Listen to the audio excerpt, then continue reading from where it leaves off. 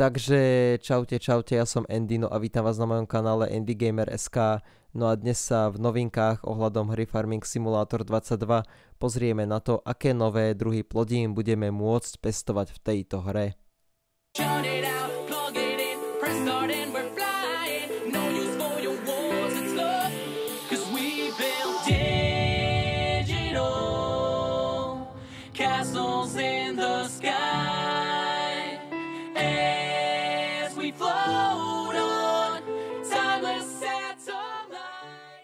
Ako ďalšiu novinku, ktorú si ukážeme vo Farming Simulátore 22, tak tu máme áno, tie nové plodiny.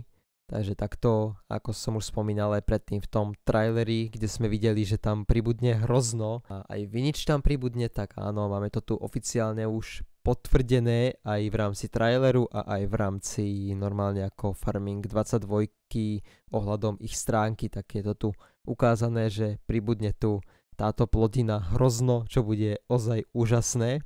Takto môžeme tu vidieť ten vinič, ako to vyzerá a vyzerá to ozaj cool. Takýto vinič krásny.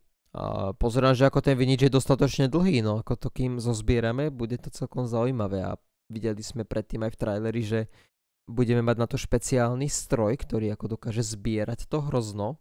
Takto tu máme ukázané aj olivové plodiny, Takže aj olivy tu pravdepodobne budú, áno, pretože aj v production bol ukázaný ten olivový olej, takže to tu nesmie chýbať. Tuto máme, že tu pridali uh, nový typ plodiny.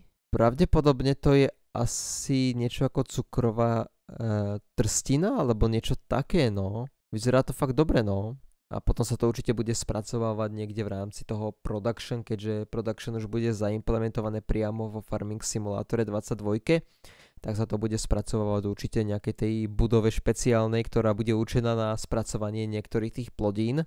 No a tuto máme samozrejme aj ten obrázok z production, takže takto si môžeme potom aj tam spracovávať tie výrobky a môžeme potom to aj predávať pre rôzne obchody, čo bude ozaj zaujímavé, no. Aj olivy tu budú, tuto sme si to ukazovali, olivové pole, tak určite pribudlo ako nové hrozno, plus tieto olivy tu pribudnú, potom aj olej z toho môžeme vyrábať. A ešte plno zaujímavých ďalších vecí, no a teším sa na ďalšie novinky a som na to ozaj zvedavý, že ako to celkovo ďalej ešte sa posunie, pretože od vydania ešte máme nejakých 5 mesiacov, takže som na to zvedavý, že kam ešte tá hra bude napredovať, pretože toto zatiaľ bol oznámený oficiálny trailer, ktorý vyzerá úplne super a plus ešte nové plodiny boli oznámené a plus ešte tam budú aj tie sezóny.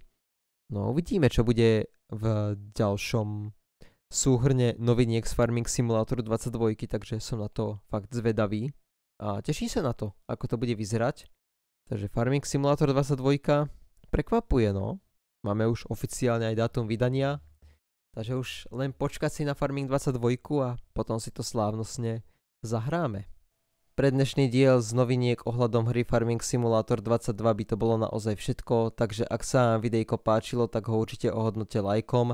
No a pokiaľ nechcete prísť o ďalšie nové videjka a chcete byť informovaní o mojej tvorbe, tak si určite hoďte na mojom kanále odber a taktiež si určite hoďte aj follow na Twitch, kde sa pri streamovaní aj nahrávalo toto videjko. No a nezabudnite čeknúť takisto aj náš Discord, kde je plno zaujímavých vecí a noviniek. No a ja sa s vami lúčim. Čaute.